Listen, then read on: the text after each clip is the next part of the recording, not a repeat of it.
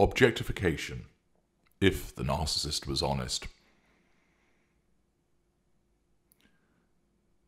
If a lesser or mid range narcissist was able to know why they behaved as they did, and with regard to seeing the victim as an object, this video would explain how they would explain it to you.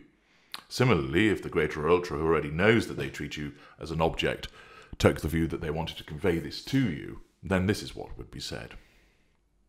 Dear victim, you want to be someone to my kind of me. That will not happen. You are a something to us, not a someone. I don't relate to you. Why should I? I regard myself as superior, elevated, and special. The petty concerns which govern your life don't apply to someone like me. I don't do accountability. Certainly, I have some understanding of what it means to be you. After all, I have listened to you tell me so many times about how you feel, and I have watched you and others like you so often. I do not feel it, however. I can't put myself in your shoes.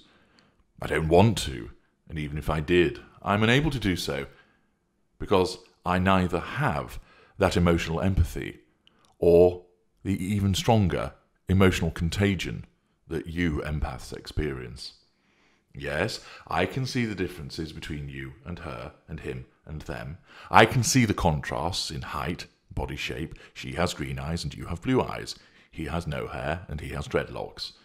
I recognize physical attractiveness. I see the different clothes that you wear, the variances in shoes worn, jewellery displayed, and such like. I notice all of that. But that does not make you any more of a person to me. It is merely the distinction between a washing machine that is white and one which is silver. And take my television, which is placed at the far end of the main sitting room. It is a Samsung curved SUHD HDR Smart TV 78 inch television that I primarily watch sport on. It provides me with a picture, which is in pin sharp crikey vision, with a scintillating array of colours. The sound is impressive, and even more so when it is wired up to my Sonos surround system. It all looks sleek and attractive. It delivers an outstanding display, and therefore delivers what I require of it. Take you as my primary source. I can see that you stand five foot nine inches in height, that you are slender with pale skin and long brown hair to the small of your back, which becomes slightly wavy towards the end. Your face is oval, your eyes are green, you look sleek and attractive. You are an outstanding display of physical attractiveness. I know all of this, but your primary purpose is to provide me with fuel and to submit to my control, for you to provide me with character traits and residual benefits. And during the golden period, you deliver that which I require of you. You are no different to my television. You are there to provide a function. You are there to deliver in accordance with the prime aims. which are fuel, character traits, control and residual benefits. If you do, and you do so in a fulsome manner, you are a high functioning appliance. If you do not, you are a malfunctioning one. You and the television are there to do things for me, because I am entitled to that. I press your buttons by seducing you, or later provoking you during devaluation and you must submit to my control, doing what I want, provide me with fuel, character traits, and residual benefits. At the time of the golden period, you are functioning well. You are high functioning, and thus you are my favourite appliance. I have many appliances, other objects, which spew out fuel in varying quantities and differing potencies. I have connected all of these objective all of these objects to me, because again my objectification of you is also linked to the need to assert control.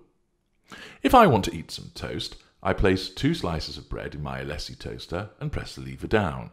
adjust the relevant control to give them the degree of toasting required, and a minute or two later, up pops two perfectly toasted slices of bread. It works each and every time. I control it. It does what I want. It does not refuse to toast my bread.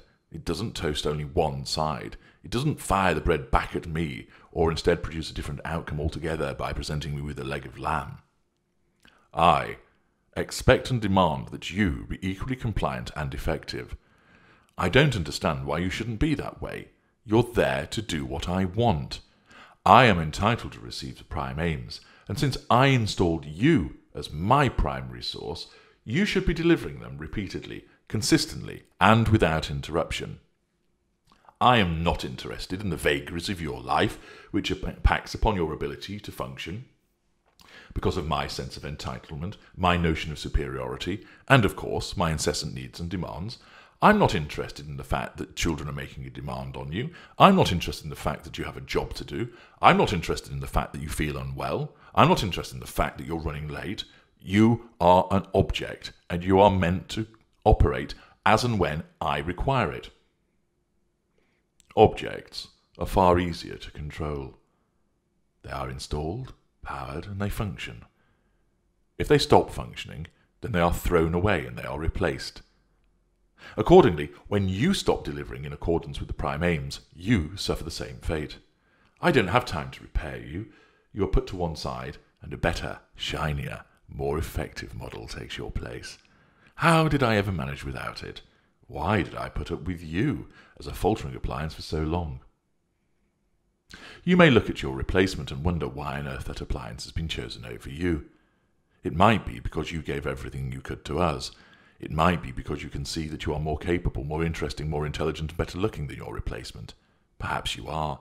Perhaps those distinguishing features are there but you were not delivering in accordance with the prime aims. And your replacement is, which means they are infinitely superior to you. You are dispensable. Ally the fact that we see you and others objects with our necessity for performance, our lack of remorse and conscience, and you can understand, or maybe begin to understand, why we find it so easy to disengage with you and place you on the scrap heap and choose another appliance with such ease. If you end a relationship, you may be concerned to ensure that the other person isn't too devastated, that they're doing okay, because even though you may not want to be in a formal relationship any longer, you do still care about the well being of another human being. To me, that's pointless. Why use your energy dealing with something that's ineffective? It's an object. Time is being wasted. Your objectification makes it far easier for me to function. By regarding you as just another object which is there to perform for us, that is to be controlled by us and can be readily replaced when the narcissist deems it necessary, we achieve our aims far more readily. Performance and control are key, and this is what objects do. Whether it is an ornament which looks beautiful and we can place where we want, to a motor vehicle which delivers us from A to B, or a dishwasher which provides us with clean and streak free shining glasses, we control them all, and they perform. This objectification extends into how we regard different objects. For example, when you are seduced and embedded as the intimate partner primary source, you are our most prized possession. You are the one which will give us the necessary positive fuel each and every day, in large amounts and with considerable potency. This means you will be looked after, you will be treated well, you will be paraded and shown off like some prized piece of art or an expensive necklace. You'll be placed carefully on that pedestal, polished, cleaned, and maintained. The tertiary source, which works in the garage where we fill up the petrol in our car, is like an old teddy bear. The narcissist always says hello and receives a pleasant dollop of positive fuel as we feign interest in this person's humdrum life. We have known this person for years, and like that teddy bear, we see no need to throw them away, not yet but nor do we regard them as being of any particular necessity for, maintain, for maintenance. Accordingly, the corresponding teddy bear has an eye missing, some stuffing is filling from one side, and the fur has faded. In the same way that one is careful with a delicate and expensive mirror, the narcissist will treat our appliances in the same way. Some can be kicked to one side, scuffed and stained, like a pair of old trainers. Others are handled with care until we decide otherwise. Our appliances and our fuel network are regarded and handled in differing ways. The trophy appliances, the primary source in the golden period, or the long-standing inner circle successful friends who are non-intimate secondary sources, are displayed and shown off regularly. The much maligned familial non-intimate secondary source, a scapegoated sibling or child, is the hideous jumper that is only ever worn when it really has to be done, and is otherwise derided and ridiculed. Our lieutenants are our tools, the devices which we depend on to do our bidding, as they are deployed to achieve our aims. Our objectification of you is necessary for the purposes of maintaining control and achieving the prime aims. This objectification is easy to do because I have no empathy for you. I no sooner can relate to how an iMac feels as to how you feel. I've no concern about whether my Montblanc pen feels, it's there to perform. I have a vested interest in you feeling for the purpose of providing fuel, but I am not concerned as to how you feel, because I cannot empathize with you. This objectification manifests not just in how the narcissist will parade you as a trophy, devalue you without any concern for the impact upon you, and then how we disengage and replace you, but also in the way we interact with you. The use of pet names is a way of dehumanizing you. Refer to you as her, she, he, and him, rather than your actual name, stripping you of identity. We reject the legitimacy of your needs and desires by placing ours first. A fridge freezer has no aspirations, no life plan or goals, and we reject their applicability to you as well. This objectification appears in how we interact with you, especially during devaluation, as we say such things as, just do it, do what I want, get on with it, stop disobeying me, you will do it or else. There is no asking, no politeness, no consideration given. We do not ask the washing machine if it wouldn't mind washing our clothes, so why would we ask you if you wouldn't mind doing something for us?